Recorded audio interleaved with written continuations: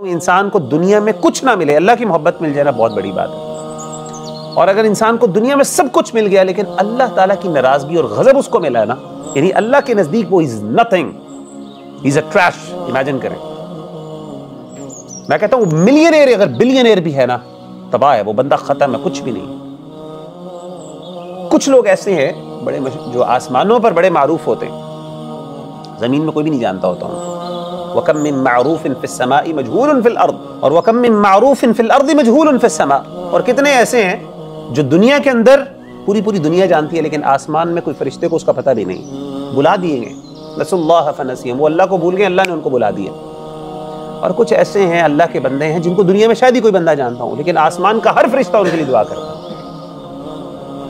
मैं कहता हूँ अल्लाह की मोहब्बत अगर इंसान को मिल जाए ना उससे बड़ी बात कोई नहीं जिसको हम इतना छोटा लेते हैं। ला अब कहते हैं, अल्लाह उसे मोहब्बत नहीं करेगा। हम कहते हैं, यार कौन सी बड़ी बात? किसी सहाबी को ये पता चल जाता ना कि मेरे इस अमल की वजह से अल्लाह मुझसे मोहब्बत नहीं करेगा। वो पिघल जाता लिटरली लेकिन हमारे नज़दीक डजेंट मैटर आपने फरमाया कि बदजुबानी और ऐसी ज़ुबान, बदजुबानी से मुराद ये है, मैं यहाँ पे वो सारी मुराद दे रहा हूँ जिसके अंदर गंदे वर्ड्स हैं। प्रोफैनिटी जिसको हम कहते हैं एफ़ वर्ड या एस वर्ड माँ बहन की गाली।